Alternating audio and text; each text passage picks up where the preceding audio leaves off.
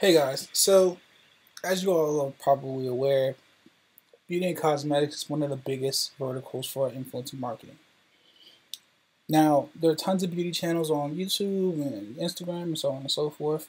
However, just assuming that because someone does makeup tutorials every now and then on the channel or you know does a brush review or something like that, that their audiences are intrinsically, you know, your target audience, your best possible audience for a makeup tutorial or haul, that type of logic, it doesn't quite check out. Here's why. What we're going to do is pull up audiences across these publishers who are personal interest in beauty products. Right? That's step one. Very simple targeting. Just it's basically just interest targeting. And this isn't based on the channel genre. This is actual data from audiences. I think I need to make that clear. Second, we're going to type in minor purchases, then the health and beauty uh, vertical, and we're going to look for people who bought beauty products in the last six months.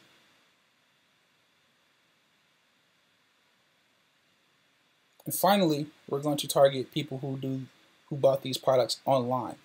So what we're going to do is online purchases, health and beauty, beauty products.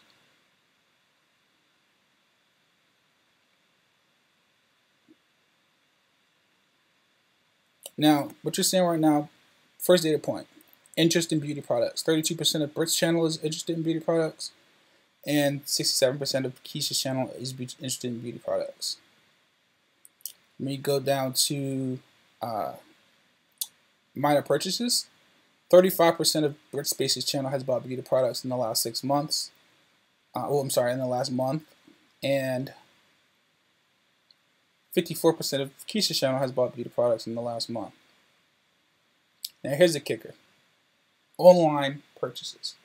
So a lot of the times when you do influencer marketing, a lot of times they'll have like a affiliate link or a hyperlink to say, hey, you know, if you like these brushes or you like this palette, go ahead and click the link and use my affiliate code and blah blah blah blah blah.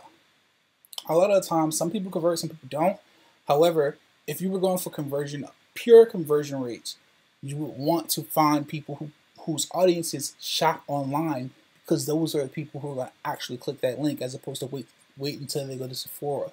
If you're looking for a way to really close this uh, attribution funnel and, and, make it from brand entertainment to sale, straight one two punch, you want to find people whose audiences shop online uh, and are heavy shoppers.